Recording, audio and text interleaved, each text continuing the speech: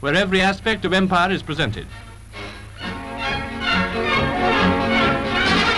The old warrior is back in the fray again. Lloyd George plunges into battle at the Stafford by-election. Here are a few choice excerpts on rearmament, spend over two million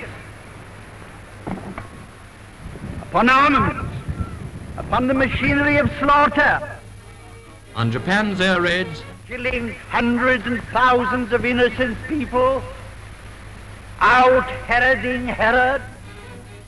on agriculture, We are cluttered up with boards and regulations telling you that you're not to be allowed to eat small potatoes. on the League of Nations, It's treated with complete contempt. And on Mussolini, if he hasn't got Abyssinia, no thanks to us, it's because those mountaineers are still fighting for their independence. Right or wrong, LG, you're a grand fighter. There are still men alive who fought in America's greatest war, which wasn't the War of Independence.